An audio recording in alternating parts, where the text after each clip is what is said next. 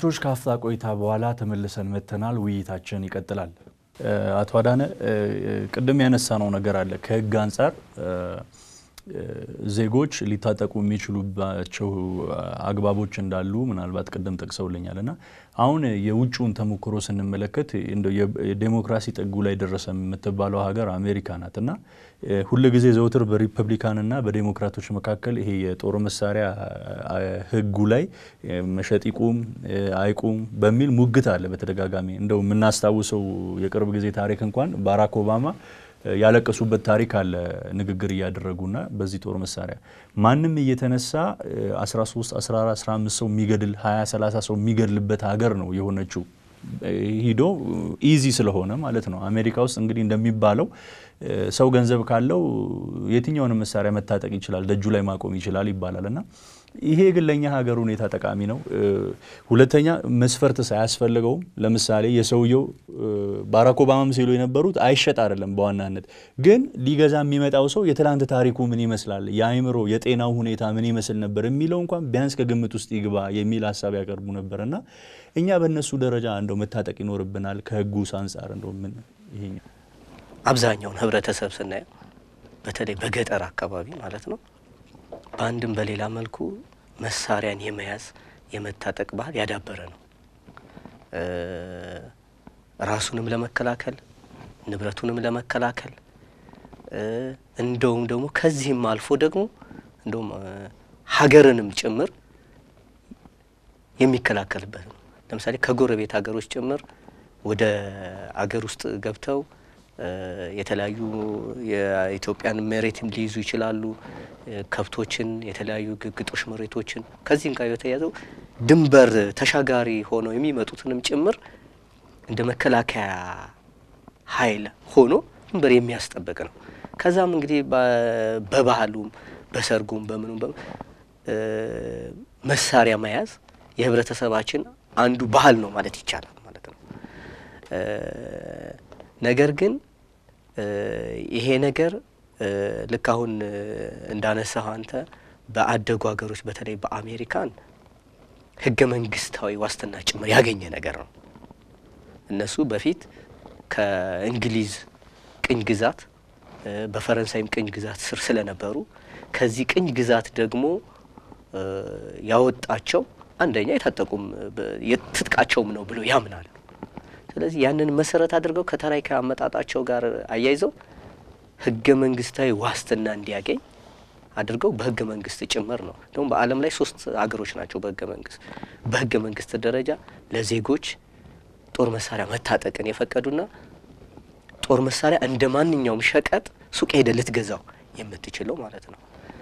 ስለዚህ የሀገሮች ታሪካዊ አመጣጥ ይወስነዋል ማለት ነው።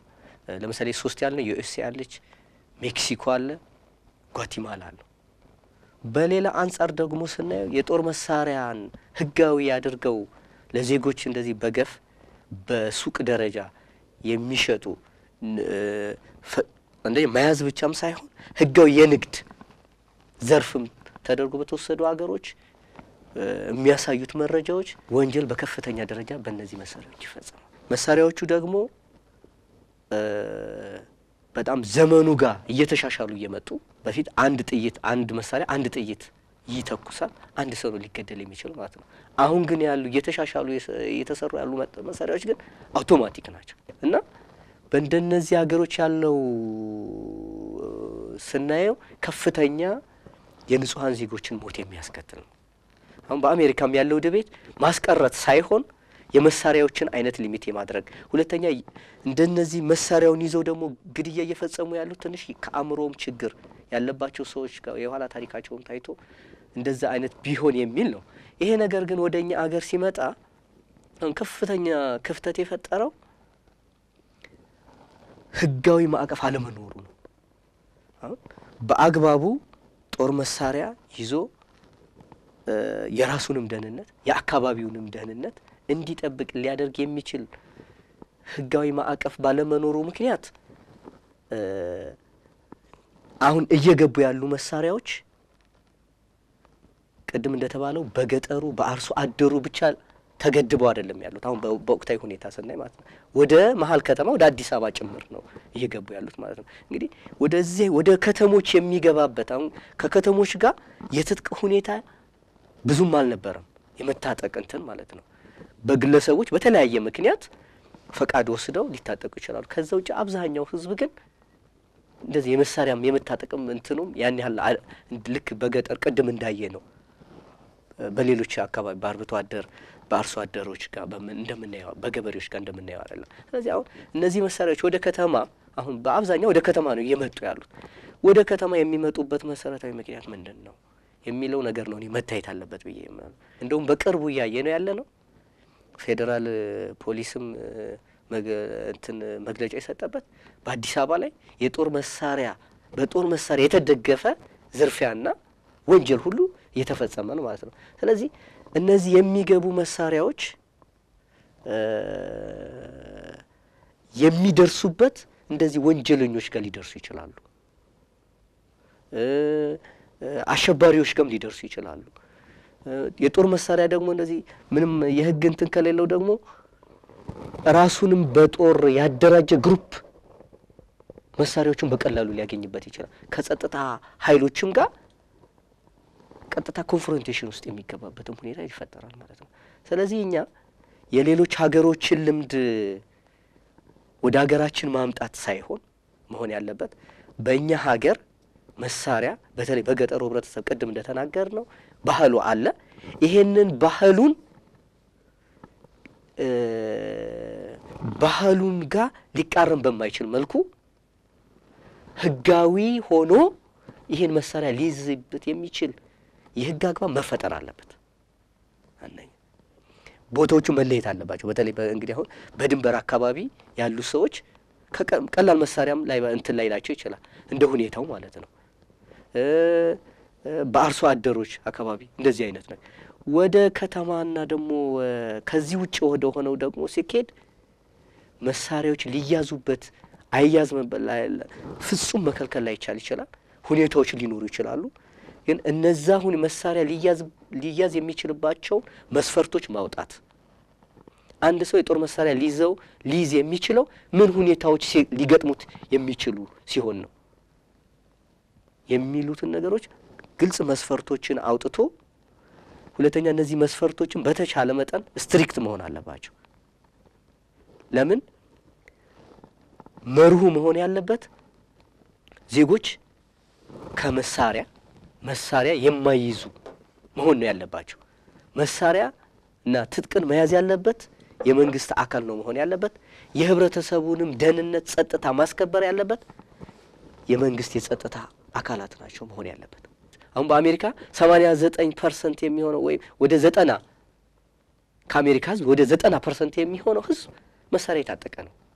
ነገር ግን የወንጀሉን ስታይ አብዛኛው ሰው እኮ ሰላማዊ ነው። ሰማንያ ዘጠና percent መሳሪያ የታጠቀ ባለበት አገር በመሳሪያ የሚፈጸሙት ወንጀል በጣም ጥቂት ነውጠኞች፣ ጥቂት የአእምሮን ችግር ያለባቸው በተለያየ የፖለቲካ ምክንያትም ሊሆን ይችላል፣ የአእምሮ ችግር ምክንያትም ሊሆን ይችላል፣ የአደንዛዥ እጽ ብዙ እንትኖችም ተጠቃሚነት ከሱስም ጋር የተያያዘ ሊሆን ጥቂቶች ናቸው የሚፈጽሙት ያለው ህጋዊ የማድረግ ስርዓት የበለጠ ህገወጥ መሳሪያን የመቆጣጠር መንገድ አንዱ ነው፣ ህጋዊ ማድረግ ማለት ነው፣ የህግ ማዕቀፍ ማበጀት። ስለዚህ በቂ ጥናት ተደርጎ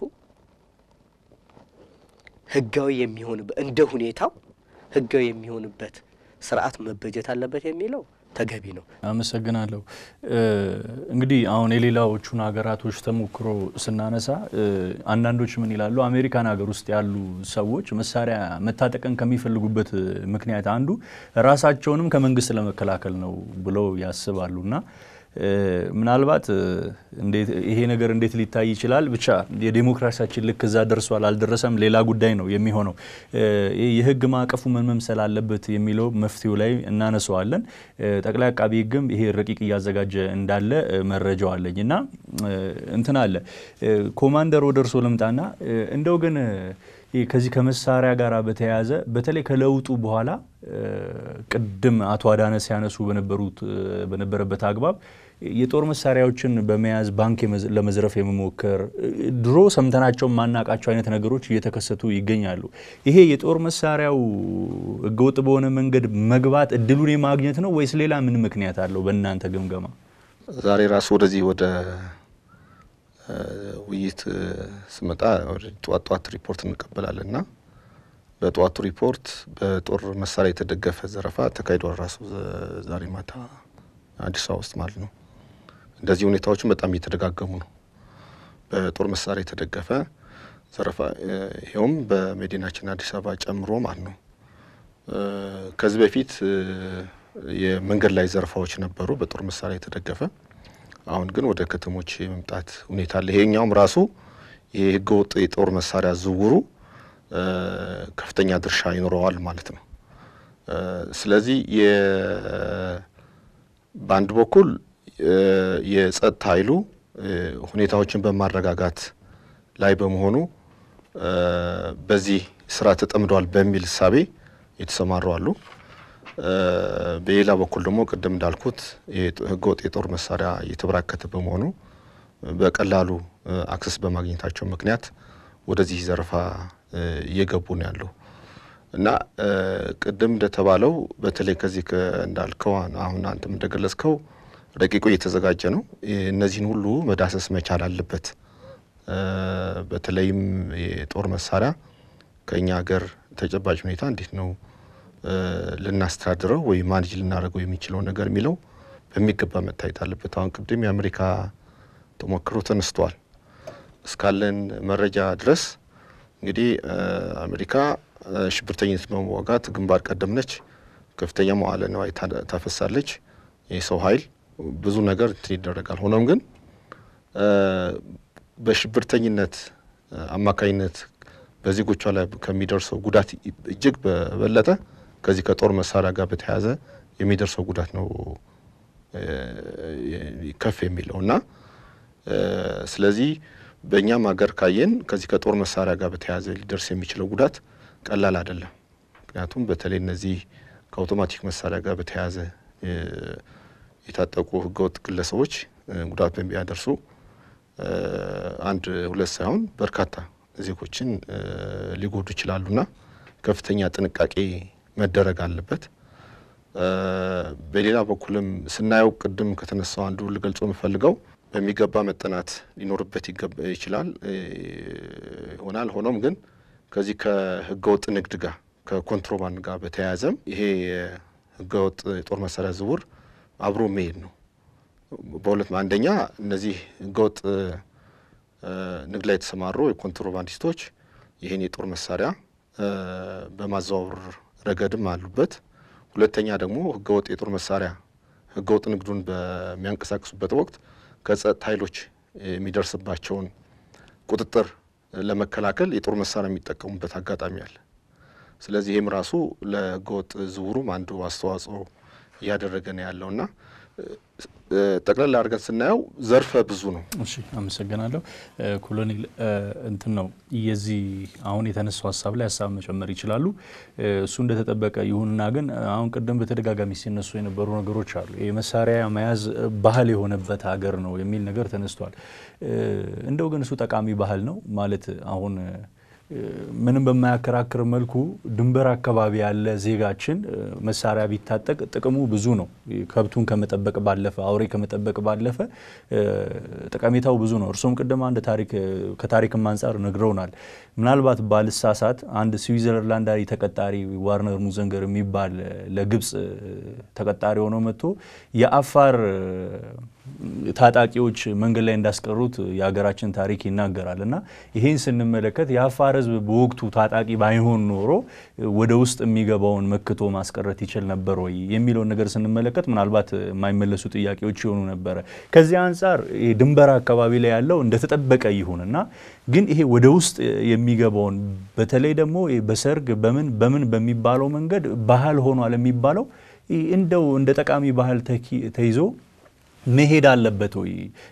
መከላከያ አሁን የህዝብ ነው፣ ፖሊስ የህዝብ ነው። ከመቼውም ጊዜ በላይ ደግሞ እኔ በግል ምልከታዬ መከላከያም ህዝባዊ መሆኑን እያሳየ ያለ ይመስለኛል እና ቁም ሲባል መከላከያ ሳይተኩስ የሚቆምበት ሀገር እየተፈጠረ እንዳለ ነው እኔ እያሰብኩ ያለሁት እና ይሄ ባለበት ሁኔታ ይሄኛው ባህል በተወሰነ መልኩ መቀነስ ያለበት አይመስለቱም ወይ? እሺ፣ አመሰግናለሁ። ይሄ ከውጭ ተሞክሮ ጋር በተያያዘ የተነሳው ጥያቄ ወይም ሀሳብ በእኛ ሀገር አጠቃላይ ፖለቲካም ይሁን ማህበራዊ ሁኔታ ጋር የሚስማማ መስሎ አይታየኝም።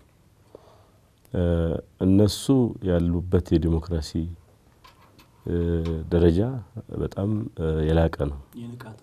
የንቃተ ህሊናውም ህብረተሰቡም ራሱ እኛ ገና ከድህነት ያልወጣን ሀገሮች ነን። እንደነሱ እንሁን ካልን አስቸጋሪ ነው። እነሱም እየጎዳቸው መሆኑ ይሄ በሊበራሊዝም ወይም ደግሞ በዛ በህጉ በዲሞክራትና ባለው ክርክር እንዳለ ሆኖ በህገ መንግስት በህግ ደረጃ ማዕቀፍ እንዲኖረው በማድረጋቸው ሱቅ በመኖሩ እንደፈለክ እንደ ማስቲካ ከረሜላ እየሄደ ማንኛውም ወጣት የሚገዛበት አይነት ህግ እንደ መብት በማድረጋቸው ከፍተኛ ጉዳት እያደረሰባቸው ስለሆነ ይሄን ለማሻሻል ውጣ ውረድ ላይና ስንት ክርክር ላይ እንዳሉ እናውቃለን። በየትምህርት ቤቱ በየቦታው መዝናኛ ቦታው በቀን ምን ያህል ወጣቶች ህጻናት እንደሚያልቁ ያው ይታወቃል፣ በሚዲያ እንደምንሰማው። ወደዚህ ወደ አፍሪካ ሀገርም ስንመጣ ለየት የሚያደርገው ደግሞ ለምሳሌ ደቡብ አፍሪካ ሂድ። ደቡብ አፍሪካ መሳሪያ እንደፈለግ ታገኛለህ፣ ግን የተደራጀ ጋንግስተሮች መንግስትን፣ ፖሊስን የፈለገውን ባለስልጣን በማንኛውም ሀብታም የሚባል ገንዘብ እየተከፈላቸው የፈለገውን ሰው የሚገሉበት ሁኔታ እንዳለ እናያለን። even እዚህ ጎረቤት ኬንያም ተመሳሳይነት አለው አሉ። እነዚህ የተደራጁ መንግስትን ለማስገደድ የመንግስትን ጸጥታ አካል ወይም የሲቪል ባለስልጣን ለማስገደድና ለመግደል የሚጠቀሙበት አካሄድ ነው። ያንን ወደ እኛ ሀገር እንዳለ እዚህ መሳሪያ ይሸጥ ብሎ ሱቅ ወይም ደግሞ ፍቃድ የሚሰጥ አይነት ልክ አስመጭና ላኪ እንደሚባለው የኮምፒውተር ምናምን እንደዛ እዚህ እኛ ሀገር እናቋቁም ማለት በህጉ እኔ ከኛ ሀገር ተጨባጭ ሁኔታ ትክክልም አይደለም። በዚህ መልኩ መታየትም የለበትም። ምናልባት ህጉን የሚያረቀው አካል ይህን በደንብ መገንዘብ ያለበት መስሎ ይታየኛል። እኛ አሁን በዲሞክራሲ በልማት ወይም ደግሞ ከነበረው የመልካም አስተዳደር ወደ ተሻለ ደረጃ እንሄድ እያልን ባለንበት ወቅት እንኳን አሁን በተለያዩ የሀገራችን ክፍሎች ሁሉም የታጠቀ በመሆኑ እየተጨፋጨፈ ነው ሰው። ይሄ የሚደበቅ ነገር አይደለም።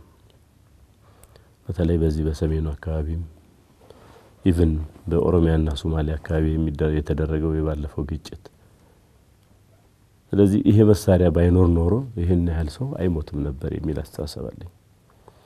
መሳሪያው እንዴት ገባ? ያው ቅድም የተናገርነው ነው። በህገ ወጥ መንገድ ይገባል ወይም ደግሞ ከጸጥታ አካሉም አንዳንድ የሰፈር ጎረምሳዎች እየቀሙ የራሳቸውን እንትን ለማስከበር የሚጠቀሙበት አካል ነው። አጠቃላይ ስርዓት አልበኝነት የሚጨምርበት ሁኔታ አለ።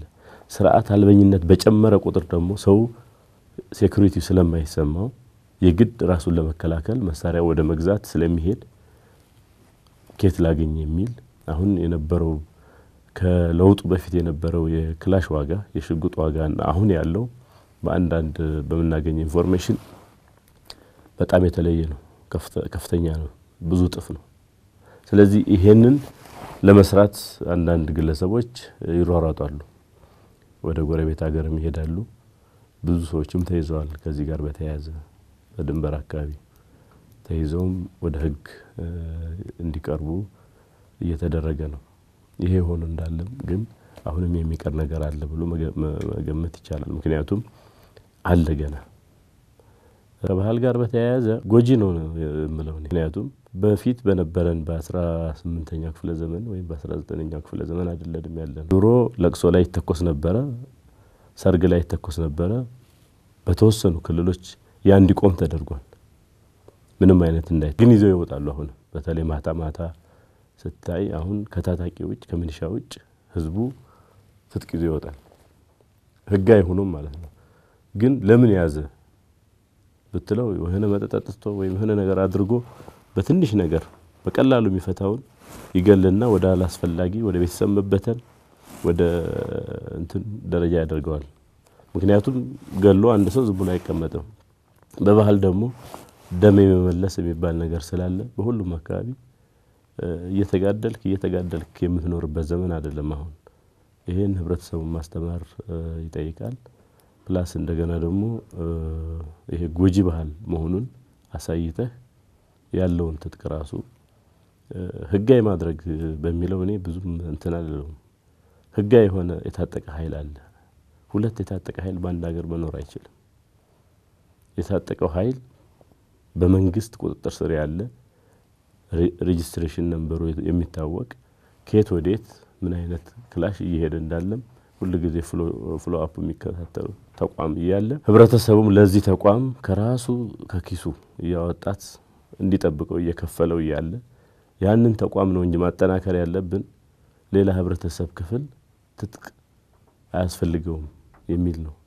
even ራሱ ድንበር አካባቢም መፈተሽ አለበት። አሁን እንደ በፊቱ ኢትዮጵያን መጥቶ የሚወር አገር ባለን አሁን እንትን የለም ብለህ መደምደም ይቻላል። ምክንያቱም ያለን የ security አቅም ከፍተኛ ነው። plus እንደ ከዚህ በፊቱ colonialism ወይም ሌላ ሌላም አንድ ሀገር ሄደህ ዝም ብለህ መግባት አትችልም ካለው ዓለም አቀፋዊ ሁኔታ ጋር ስታያይዘው። ስለዚህ አሁን በደንብ መጠናት አለበት። ትክክል ነው። ከተጠና በኋላም ቶሎ ብሎ ይህንን security ውን በማጠናከር ዝም ብሎ በየህብረተሰቡ በየአካባቢው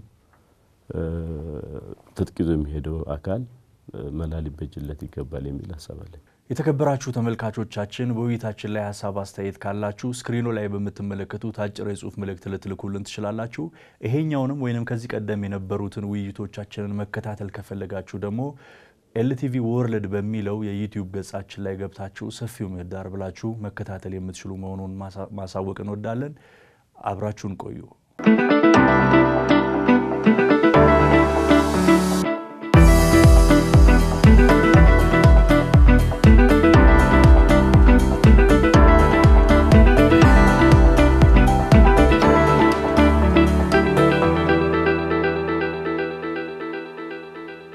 ተመልካቾች ከአፍታ ቆይታ በኋላ ተመልሰን መጥተናል። ውይይታችን ይቀጥላል። አመሰግናለሁ በጣም አቶ አዳነ። ከህጉ አንጻር ቅድም አንድ ያነሳ ነው ሀሳብ አለና እሱኛው ላይ አስተያየት ይሰጡኝና ባጭሩ የመፍትሄ ሀሳቦችን እናስኬዳለን። ምንድን ነው ቅድም በጠቀሱልኝ ይሄ የህግ አግባቦች ለምሳሌ የወንጀለኛ መቅጫ ህግ 256፣ 451፣ 808፣ 809 እየተባለ በተወራው ላይ ምንድን ነው አንዳንዱ ላይ ዜጋው ሊታጠቅ የሚችልበት አጋጣሚ እንዳለ የሚያትት አለ። ማለት ህጋዊ ሆኖ አስመዝግቦ የሚል ነገር አለ። እሱ ነገር ግን ራሱ ክፍተት አልፈጠረም ወይ? ለምሳሌ እኔ መታጠቅ ብፈልግ ከማን ነው ምገዛው? ከፖሊስ ነው ምገዛው? ከመከላከያ ነው ምገዛው? ወይስ ህገወጥ እንግዲህ ህጋዊ ንግድ ፍቃድ የተሰጠው ነጋዴ ሀገር ውስጥ ከሌለ ይሄ ህገወጥ ዝውውሩን አያበረታታም ይሄ ህግ? እስቲ እንዴት ነው? ልክ ነው። አንዱ ክፍተት እሱ ነው። አሁን ህጉ የሚለው ያለ ፈቃድ ይዞ መገኘት ይላል። ይሄ በመነገድ አላማ ማንቀሳቀስ የጦር መሳሪያዎችን አይቻልም፣ የተከለከለ ነው። አሁን የሚገቡትን መሳሪያዎች ብዛትና ቁጥራቸውን አይነታቸውን ስታይ ለንግድ አላማ መሆናቸው ያሳይሃል፣ የብዛታቸው ሁኔታ ማለት ነው። ወደ አነሳኸው ነጥብ ስንመጣ በግለሰብ ደረጃ መሳሪያ ያለ ፈቃድ መያዝ ወንጀል ነው፣ ወንጀል ነው። ቅጣቱንም እንደውም የደንብ መተላለፍ ነው የሚያደርገው ህጋችን ማለት ነው። ደንብ መተላለፍ የሚባለው ደግሞ በጣም ትንንሽ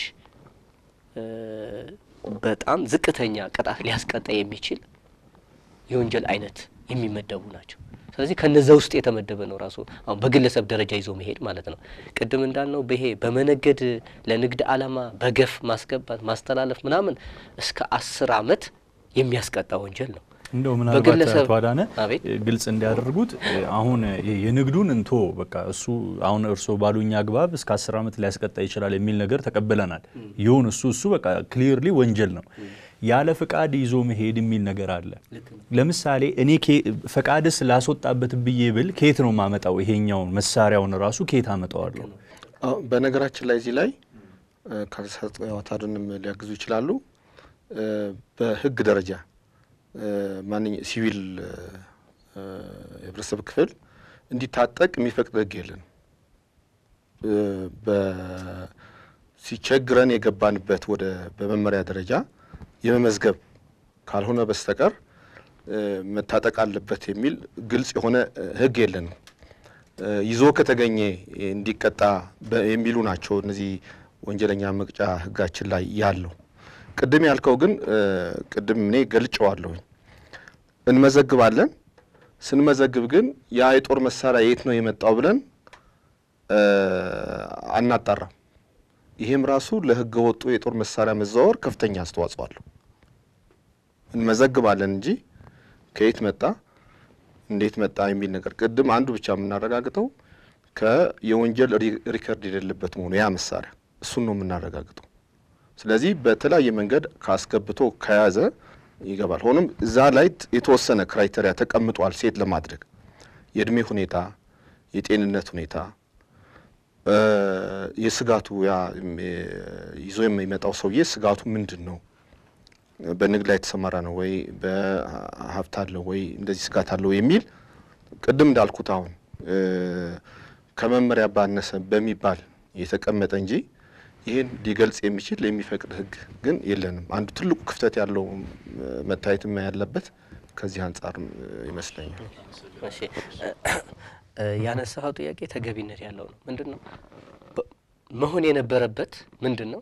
አንድ ሰው ፈቃድ በጣም ስጋት አለኝ እንግዲህ የጦር መሳሪያ በመርህ ደረጃ ዜጎች ሊይዙ አይገባም የሚለው እንደተጠበቀ ሆኖ በልዩ ሁኔታ ግን እንደ ግለሰቡ ሁኔታ እንደ ጠያቂው ሁኔታ አስፈላጊ ሆኖ ሲያገኝ በፈቃድ ፈቃድ ተሰጥቶት መያዝ አለበት የሚለው ነው normal መሆን የነበረበት ማለት ነው። ይህም ፈቃድ የሚሰጥ አቋም ተቋም ኖሮ የሚመዘግብ መሳሪያውንም ደግሞ ይሄ ሰውዬ እንዴት ነው የሚያገኘው? ራሱ የሚመዘግበው ተቋም ነው የሚሰጠው ወይስ ከሌላ ቦታ ገዝቶ አምጥቶ ነው የሚያስመዘግበው የሚሉትን ነገሮች ህግ ስለሌለ ህግ ስለሌለ አሁን እየተሰራበት ያለው ነገር ምንድን ነው? እኔ የደህንነት ሁኔታ ያሰጋኛል ብዬ ከራሴ ከግለሰብ ከግለሰባዊ እንትን ተነስቼ በክልሎች አላቅም። በአዲስ አበባ ግን በአዲስ አበባ ፖሊስ እ፣ ኮሚሽን እና በፌዴራል ፖሊስ ኮሚሽን ነው ይሄን አገልግሎት የሚሰጠው ማለት ነው። ትሄዳለህ፣ መሳሪያውን ይዘህ ሄደህ ነው የምታስመዘግበው። ያ እንግዲህ መሳሪያ ቅድ እንዳሉት ከየት መጣ በምን አግባብ መጣ ምናምን የሚለው ነገር እንትን አይደረግም ማለት ነው። ስለዚህ ይዞ ህገወጥ የሆነውን መሳሪያ እንግዲህ ሰውየው የሚያገኘው በምንድን ነው? በህገወጥ መንገድ ነው ማለት ነው። ያንን መሳሪያ እንግዲህ በህገወጥ መንገድ ነው ወደ ሀገር ውስጥ የሚገባው። ያንን መሳሪያ ይዞ ነው የሚሄደው እና ለማስመዝገብ የሚደረገው እንደተባለ ወንጀል አለመፈጸሙ ብቻ ከሚያጣሩ በስተቀር ፖሊስ ከዛ ውጭ የሚያጣራበትም ሌላም የመረጃ ቋትም የለም። እንደነዚህ አይነት መሳሪያዎችን ከየት መጡ፣ እንዴት መጡ፣ ሁሉን ነገር መረጃ የሚይዝም የመረጃ ቋትም ካለመኖር የተነሳ ፖሊስም ይሄን ሊያጣራ የሚችልበት አግባብ የለም። ስለዚህ አንዱ ትልቁ ክፍተት ይሄ ነው ማለት ነው። እዚች ላይ ትንሽ ይቅርታ ማለት አሁን ምንድን ነው አንዱ ራሱ ስህተት የሚመስለኝ እኔ ይታጠቅ የምንለው አካል በህግ እያን ወይም ደግሞ ስጋት አለው ብለን የምናስብ ከሆነ ለምንድን ነው ስጋት የሚኖረው? ፖሊስ እያለ መከላከያ እያለ ሚኒሻ እያለ ለምን ይሰጋል? መጀመሪያ ያንን ነው መፍታት ያለብን። ስጋቱን ማስወገድ አለብን። ማንኛውም ትልልቅ ድርጅትም ይኖረው ምንም ድርጅት ይኖረው ድርጅቱ ለምሳሌ የ private security ዎችን ሊቀጥር ይችላል። ለ private security ይፈቀዳል አይፈቀድም የሚል ህጉ ከመለሰ ወይ ከፖሊስ መውጣት አለበት ትጥቁ ወይ ከመከላከያ። እንደዚህ አይነት ህጎችን ነው ማስተካከል ያለብን። አሁን ባለን ባለን አጠቃላይ ሁኔታ ባለው የሀገሪቷ ሁኔታ ትጥቅ ይፈቀድ ካልክ ያ የምትፈቅደው ትጥቅ ራሱ ከየት መጣ እንዳልከው አይታወቅም። ትጥቁ ወይ ህገወጥ ተብሎ በድብቅ ተደብቆ ከሚሸጥ ተቋም ወይም ደግሞ ግለሰብ ሊሆን ይችላል፣ ድርጅትም ሊሆን ይችላል፣ አይታወቅም። ስለዚህ ይሄ አንዱ እንዳውም መፈተሽ ያለበት ህጉ ይስተካከል የሚባለውም ራሱ እኔ በሚገባኝ እንትን ምናልባት እሳቸው ሊያግዙ ይችላሉ። መፈተሽ ያለበት ራሱ ይታጠቅ የሚባል ህብረተሰብ ውስጥ ነን ወይ? አሁን አሁን ትጥቅ የምንገዛበት ወቅት ነው ወይ? ትጥቅ ለትጥቅ የሚያወጣው ሰው ለሌላ ነገር ብናውለው አይሻልም ወይ? አመሰግናለሁ። ኮማንደር ሞገስ እርሶ ጋር ልምጣና እንደው እንደ አጠቃላይ የመፍትሄ ሀሳቡን ነው የሚያስቀምጡልን። ምንድን ነው እንግዲህ ቅድም ባነሳናቸው መንገዶች ይሄ እንደ ቀላል የመቁጠር አይነት ነገር አለ። ሁለተኛ ነገር ደግሞ እናንተ እንደ ተቋም ምን ያህል አስተውላችሁ እንደሆነ አላውቅም። ለውጡ ሲመጣ ብዙ እስረኞች ተፈቷል፣ በተለይ ከፖለቲካ ጋር በተያያዘ እና ከተማ ውስጥ ያለ ወንበዴ የሚዘርፈውም ሁሉ እስር ቤት የቀለለበት አይነት ሁኔታ ነው የምናየው፣ በአንድም በሌላም መንገድ ማለት ነው። የሆነ ነገር መንጠቅ፣ መዝረፍ። አሁን መኪና ተሰረቀ ሲባል ኢትዮጵያ ውስጥ ብዙ ጊዜ አንሰማም ነበረ። የደቡብ አፍሪካ ታሪክ የመሳሰሉ ሀገራት ታሪክ ነው። አሁን ግን እንዲህ እንዲህ አይነት ወሬዎች እየተሰሙ መጥቷል። በጠመንጃ በሽጉጥ ቃታ በመሳብ ጉዳት አድርሶ የሆነ ነገር ለማድረግ የሚያስቡ ሰዎች አሉ። ከዚህ አንጻር ምን መልእክት አለው ፌዴራል ፖሊስ? እንግዲህ ያው በሰፊው አንስተናል ከዚህ ከህገወጥ ዝውውር ጋር እንግዲህ ወደ መፍትሄው ከመሄዳችን በፊት ትንሽ መግለጽ ፈልገው እያስከተለ ያለው ጉዳት ነው። በርካታ የሆነ የኢኮኖሚ፣ የማህበራዊ even የፖለቲካዊ ቀውስ እያስከተለን ያለው የህገወጥ የጦር መሳሪያ ዝውውር በርካታ ዜጎቻችን እያጣን ነው። ለሞት ለመቁሰል አደጋ እየተጋለጡ ነው። ህብረተሰቡ ላይ አሁን አንገብጋቢ ጉዳይ ስለሆነ ነው እየተወያየንበትም ያለው የስጋት ሁኔታ እንደዚህ ከሆነ ምን ልንሆን ነው የሚል ስጋት እንዲይዝ የማድረግ እንዲይዝ ሆኗል። ስለዚህ ቅድም እንዳልነው እንኳን ለእኛ ጠንካራ ህግ ያላቸው ንቃተ ህሊናው የዳበረ ማህበረሰብ ያላቸው አገሮች እንኳን ጉዳቱ ነው ነው ያለ ነው። ከፍተኛ ጉዳት ነው እያስከተለ ያለው። ስለዚህ ከዚህ አንጻር ሊኖር የሚገባው አንደኛው መፍትሄ አንደኛው የህብረተሰቡን ንቃተ ህሊና የማሳደግ ጉዳይ ነው። ቅድም ሲገለጽ እንደነበረው በአርብቶ አደሩም ይሁን በአርሶ አደሩ የትጥቅ መታጠቅ ባህል ጎጆስ መሆኑን በሚገባ ግንዛቤ ተሰርቶ ትጥቅ የሚፈታበት ወይ ደግሞ ትጥቁን ለመንግስት የሚያስረክበት ሁኔታ መፈጠር ያለበት even የፈረምናቸው ፕሮቶኮሎችም ይህን ነው የሚደግፉት። ሁለተኛው የሀገራችን ተጨባጭ ሁኔታ ባገናዘበ መልኩ ረቂቁ ተዘጋጅተዋል። ስለዚህ ቆይቷል። በነገራችን ላይ በጣም ብዙ ጊዜ ወስደዋል። ስለዚህ አሁንም ተጠንቶ ተብሎ ትኩረት ሰጥቶት ጸድቆ ወደ ተግባር የሚገባበት ሁኔታ መፈጠር ሊኖርበት ይገባል። ሌላው ቅድም አንተ ጠቀስ ያደረግከው ጉዳይ መንግስት የተለያዩ የፍርድም ይሁን በሂደት ላይ የነበሩ በወንጀል የተጠረጠሩ ዜጎችን ምህረት አድርጓል። ይሄ ማለት ግን የህግ ተጠያቂነት አቁሟል ማለት አይደለም። አንድ ሀገር አገር የምትሆነው የህግ የበላይነት ብቻ ሲኖር ነው። የህግ የበላይነት ያልሰፈነባት ሀገር አገሩና መቀጠል አትችልም።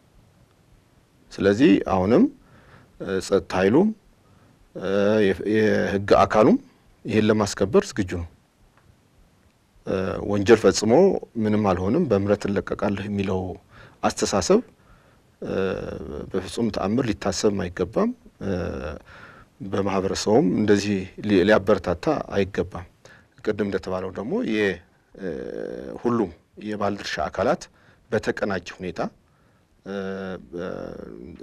ግንዛቤ በመፍጠር በመቆጣጠር እነዚህ በመሳሰሉት በጋራ አሁንም እንትናቸውን ግንኙነታቸውን አጠናክረው መስራት ይኖርባቸዋል የሚል ሀሳብ ነው ያለኝ። አመሰግናለሁ በጣም።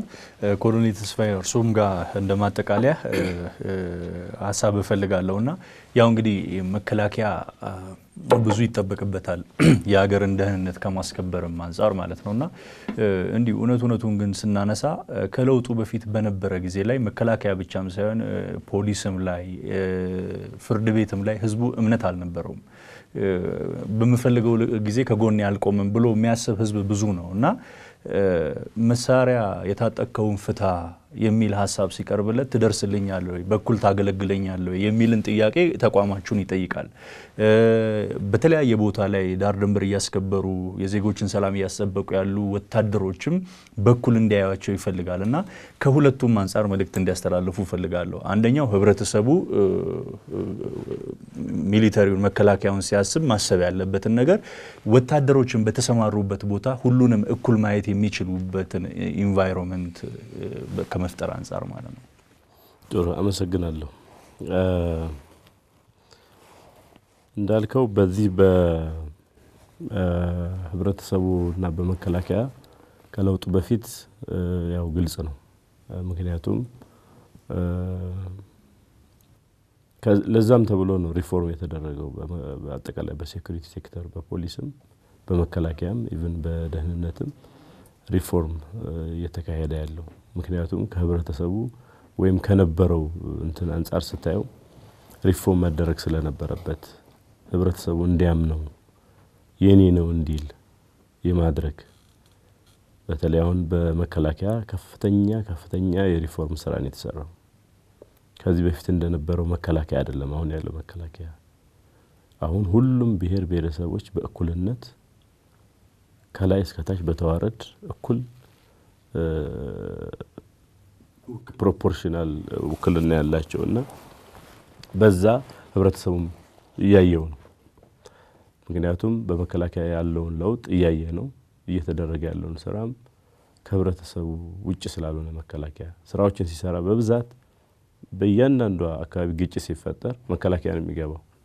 ለዛም ነው መከላከያ ሲገባ ከብቶቹን አርዶ አብልቶ አጠጥቶ አሁን የኔ ነው ብሎ ከዚህ በፊት ከነበረው ነበረ በፊትም ግን ለምሳሌ አሁን ባለው ተጨባጭ ሁኔታ በመከላከያና በፖሊስ ያለው እምነት እንዳው በዚሁ በምዕራብ ኢትዮጵያ ያለው ሀገራችን ሁኔታ እንኳን ስናየው ከፍተኛ ለውጥ ነው ያለው። የኔ ነው ብሎ ስለሚያምን የት ነበራችሁ እንኳን ደህና መጣችሁ ብሎ ተቀብሎ ፖሊሱንም መከላከያንም እያስተናገደና አብሮ ወንጀለኞችን ራሱ እየያዘ የሚያስረክብበት ሁኔታ ነው ያለው። ስለዚህ ይህንን ሁኔታ አጠናክሮ መቀጠል ነው። ይሄ እንዳለ ሆኖ አሁንም የህግ የበላይነት ሙሉ በሙሉ መከበር አለበት። ምክንያቱም በዛ በህገ ወጥ ዝውውር ምክንያት መሳሪያ ዝውውር ምክንያት በርካታ ግጭቶች ነበሩ። በመሬት ይገባኛል ወይም በድንበር ይገባኛል ሰው ወደ ግጭት ሲገባ ሁሉም የታጠቀ ነው፣ ይጨፋጨፋል። ቅድም እንደተባለው በርካታ ህጻናት፣ ሴቶች፣ አዛውንቶች በብዛት ደግሞ የሚጎዱት እነሱ ናቸው። ስለዚህ እዛ ላይ በደንብ ካልተሰራ አሁንም ከፍተኛ ጉዳት እያስከተለ ያለው ይሄ መሳሪያ ነው። ይሄ መሳሪያ ደግሞ ህብረተሰቡ ለሱ እንደማይጠቅመው አውቆ እንደሚጎዳ አውቆ ከመከላከያና ፖሊስ ጎን ሆኖ ግንዛቤውን በየአካባቢው እርስ በርሱ እየተነጋገረ ምንድን ነው ጥቅሙና ጉዳቱ መሳሪያ ብንታጠቅ ባንታጠቅ የሚለውን እየተመካከረ መንግስት ወደ ውይይት በሚወስንበት ወቅት ህገወጥ የጦር መሳሪያ እንዴት አድርገን እናስፈታ ወይም ደግሞ እንመዝግብ ብሎ በሚነሳበት ወቅት መተባበር መቻል አለበት።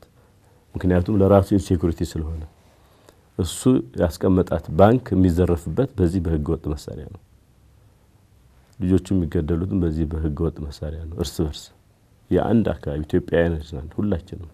ሶማሌ ኦሮሞ፣ ኦሮሞ ሶማሌን ወይም ደግሞ አማራ ትግራይ፣ ትግራይ አማራ ብለህ በሆነች ትንሽ በ local የሆነች ችግር መነሻ አድርገህ ራስን እያዘጋጀ የምትገዳደል ከሆነ በዚህ በህገ ወጥ የጦር መሳሪያ ትክክል አይደለም። መከላከያ ደግሞ ከዚህ አንጻር አንዱ እንደ መፍትሄ እኔ border security ያችን የ custom የጉምሩክ security ያችንን ማጠናከር መቻል አለብን። መከላከያና ፖሊስ ተጠናክሮ እነዚህ መግቢያና መውጫ የሚባሉ ህገወጥ የጦር መሳሪያዎችን እዛ በጥንቃቄ ከህብረተሰቡ ጎን በመሰለፍ ማጠናከር መቻል አለብን። ሌላው አንዱ ህብረተሰቡ ስጋትና መሳሪያ እንዲፈልግ ያደረገው የህግ የበላይነት ነው። security sector ኡ አጠቃላይ ደህንነቱም፣ መከላከያም፣ ፖሊሱም የህግ የበላይነትን በአስተማማኝ ሁኔታ ሰላሙን ማረጋገጥ አለበት ለህብረተሰቡ። ይህንን ካደረግን ነው ህብረተሰቡ አይ ፖሊስ አለኝ መከላከያ አለኝ የሚል mentality ከፈጠረ በኋላ ለዛ ለደላላው ለሚሸጠው የሚዘጋው።